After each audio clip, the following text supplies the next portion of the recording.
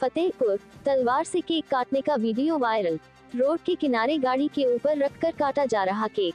बीच road में birthday party करने का वीडियो सोशल मीडिया पर वायरल। चौकी के चंद कदम की दूरी पर किया जा रहा था जश्न। तीन दिन पहले मनाया गया था बर्थडे। हरिहरगंज चौकी के पुल के पास का मामला। मार के देखो।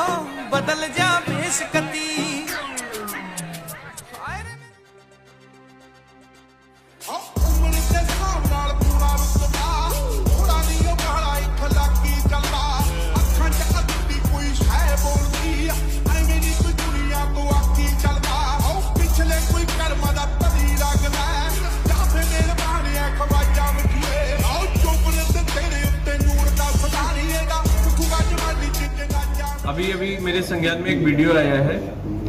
चूँकि अभी वो मामला वेरीफाइड नहीं है, फिर भी हमारे स्तर पे उसको वेरीफाई करके और आगे की विधिक कार्रवाई उसमें की जा रही है।